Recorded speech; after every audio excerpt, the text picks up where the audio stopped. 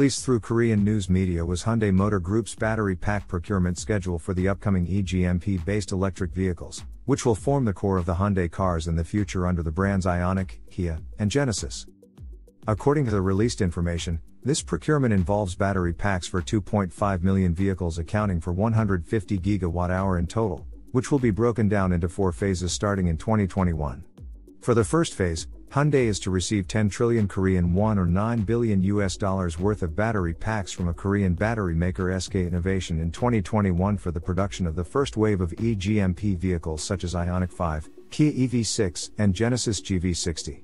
For the second phase, 6 billion Korean won or 5.3 billion US dollars worth of battery packs from another Korean battery maker LG, as well as from CATL, an upstart Chinese battery maker, is to be delivered to Hyundai in 2022. This second phase procurement allotment is to be used for none other than Ioniq 6 and Kia's version of the Ioniq 6 sedan. At this moment, your questions might be twofolds. The first question might be, what is this Kia's version of Ioniq 6? For this, we will reserve it for our future issue of AutoVision. So stay tuned. The next question that you might be wondering is why make sedans at all in this age of electric vehicles? Although sedans are not the most popular vehicle type right now in the midst of SUV and crossover madness, manufacturers are still not totally giving up on the old faithful. Manufacturers, however, try to find a way to make sedans more interesting and entice younger buyers by creating sedans that resemble a coupe than your father's three box sedan. Four door coupes such as Audi A7 and Mercedes Benz CLS paved the way for the new trend, and Hyundai, as good as they are at catching on to the good things when they see it, have started to create their own versions. This was a case with the company's sexy Kia Stinger 5 door hatchback a few years ago, and now applying the similar design theme to just about every one of their notchback products from the Hyundai Elantra compact sedan to its latest creation, the Kia K8 large sedan. And now that we are at the crossroads where ICE cars converge with the electric vehicles, will Hyundai continue with this design trend? Absolutely. As it is clearly seen in the company's Hyundai Prophecy concept, which will form the basis for the upcoming Ioniq 6 sedan that won a Best of the Best Red Dot Award in Mobility and Transportation category in 2020.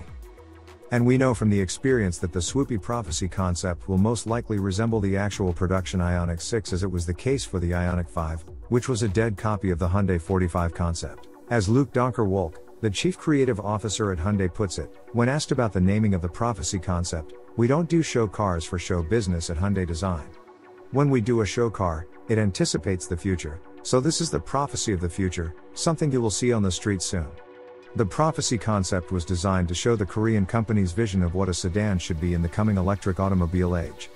But, interestingly, according to Sang-Yup Lee, Senior Vice President and Head of Hyundai Global Design Center, the prophecy is actually inspired by the curvy sedans of the 1930s, while the Hyundai 45, which was the precursor to the Ioniq 5 SUV, is inspired by the 1970s Hyundai Pony, the first indigenous car of Korea.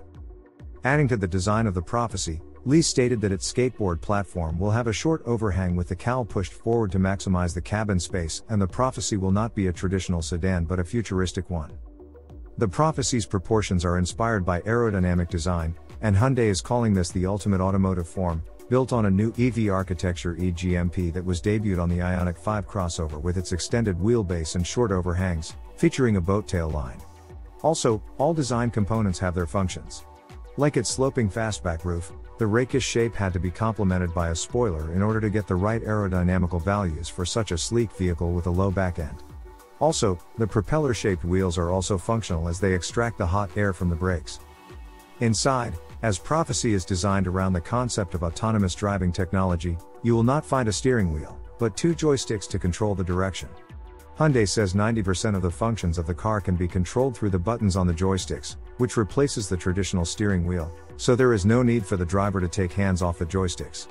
This ergonomic setup is referred to by Hyundai as the intuitive human interface, which gives two advantages improving passenger safety and visual freedom. The joysticks will most likely not make it to the final production of Ioniq 6, however, what will make it to the production is autonomous driving. The Ioniq 6 will likely be the first eGMP based car to receive Level 3 autonomy, meaning that it will virtually be a hands free self driving car. FYI, the Ioniq 5 will be released with the Level 2 self driving, which is equivalent to Tesla's current autopilot. However, Hyundai has just completed the successful testing of Level 4 self driving vehicles in conjunction with its US joint venture Motional, inching closer to the complete self driving. The Level 4 autonomy will be automatically updated to your Ioniq vehicle via Hyundai's OTA or over the air update system, once the technology becomes ready in the year 2023 or 2024. With all the freedom that the driver and the passenger will receive via the open space design with flat floor enabled by the skateboard like structure of the dedicated electric platform and the self driving technology, the driver and passengers can enjoy the vehicle's relax mode where the dashboard swivels down and a pillar to pillar wide display comes alive to be enjoyed by the passengers.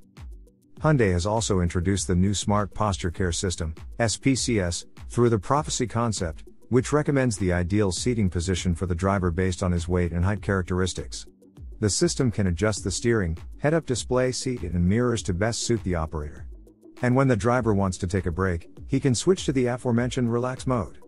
This system would be very useful when more governments allow higher levels of autonomous driving. It's probably too early to expect these technologies to be available with the introduction of Ioniq 6, however, the notion that the entire windshield and the windows turning into an entertainment screen will carry forward as the windows of Ioniq 6 will never need to be opened. The new EV sedan from Ioniq will feature a unique air filtration system that comes built with a fine dust sensor. The filtration system takes fresh air from outside when the particle levels inside the car get too high. The air is filtered before being circulated around the cabin. Not just when the car is driving, the vehicle's air filtration system works also when no one is inside and it is charging. Furthermore, Ioniq 6 will be a car that you would never have to step out of to do things that you would normally have to do at home. The Ioniq 6 and other eGMP models will offer a bidirectional power conversion function. The dedicated EV platform's integrated charging control unit or ICCU is an upgrade from the old EcoCar platform's onboard charger or OBC. Unlike OBC, which typically allows only a single directional flow of electricity from an external power source, ICCU enables vehicle to load or V2L function. Electric machinery of 110 volts or 220 volts can be operated using the energy stored inside the EV's battery pack. One can even operate a household air conditioner and a large screen TV. But if you do have to go home, you can use Ioniq 6's digital key, a feature that allows customers to use their smartphones as keys, and the car to home feature that gives drivers the ability to link up their smart home appliances to their vehicle, so they can do things such as turn on their home air conditioner before they return home from the vehicle. Finally, the question about the performance of Ioniq 6. Going back to the issue of battery procurement, we can understand that Phase 2 procurement is actually a continuation of Phase 1. This means that the power plant of the vehicles that the Phase 2 battery packs will be similar to that of Phase 1. The Phase 1 battery packs went into powering 302 combined horsepower and 446 pound feet of torque front and rear motors of vehicles such as Ioniq 5. Rated at either 58 kilowatt hours or 77.4 kilowatt hours, the battery pack powers two electric motor layouts, either with a rear motor only or with both front and rear motors. Therefore, most likely, the Ioniq 6 could be had with either rear or all-wheel drive. In the dual motor all-wheel format, the 0 to 60 mile per hour time should be similar to that of Ioniq 5 with 5.2 seconds with the dual motor, while the single motor rear wheel drive model with 215 horsepower and 258 pound feet should be able to do the same run in 7.4 seconds. When equipped with a two wheel drive and a 77.4 kilowatt hour battery, Ioniq 6's maximum driving range on a single charge should be around 290 to 300 miles or 470 to 480 kilometers on WLTP standard. Ioniq 6's eGMP platform can support both 400 volts and 800 volts charging infrastructures. The platform offers 800 volts charging capability as standard, along with 400 volts charging, without the need for additional components or adapters. With a 350 kilowatt charger, Ioniq 6 should be able to charge from 10% to 80% in just 18 minutes. The Porsche Taycan needs 22.5 minutes to do the same.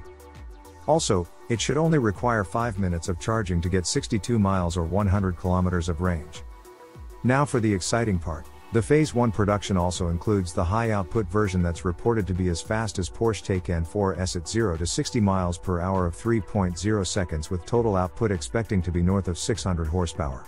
For more information on Hyundai's high-performance electric vehicle program, please check out our video on the Ioniq 5N and the Veloster N ETCR by clicking the link above. This notion of high performance EV will most likely be extended to an N version of the Ioniq 6 as illustrated here. What was once known to be an April Fool's joke a couple of years ago, may not be a joke after all. Hyundai has a knack for not wasting any opportunity to surprise the people with what they call a design study, but turning around and churn out production vehicles a few years later. As was the case was for Kia Stinger, which was based on the Kia GT concept, as well as the upcoming Hyundai Santa Cruz pickup truck, which was also just a design study. Whether it be the normal Ioniq 6 with the sleek coupe-like body encasing the state-of-the-art technology in an electric vehicle, or the high-performance N version with over 600 horsepower, 0 to 60 time of 3 seconds, many will question why one would have to pay almost twice the money for something like Porsche Taycan when Ioniq 6 is as high-tech, fast and additionally, likely be more reliable. The estimated launch date of Ioniq 6 is the summer of 2022 with an estimated starting price of $55,000. Hello, I'm Luc Donckerwolke, Chief Design Officer for the Hyundai Motor Group and here to present you Prophecy. Prophecy is our latest creation and as you see it is a four-door coupe type of vehicle um, which is inspired by the streamlined vehicles of the 1920s and 30s, but has also a strong aeronautical influence and inspire, inspiration. As you see on the, the rear wheel, but the same thing applies to the front, uh, a propeller typed wheel, uh, which is also functional as it extracts the hot air from the brakes. Um, you will notice the falling roof, uh, this really sleek shape had to be had to be complemented by a spoiler in order to um, get the right aerodynamical values for such a sleek vehicle with a low back end. Um, and at the same time, you'll notice the contrast between these nice fluid forms, but um, the pixels. Pixels are there as an, a symbol for how digitalized we are in this in the company, but also there to contrast with the nice fluid forms. Otherwise, it would be too much of a good thing.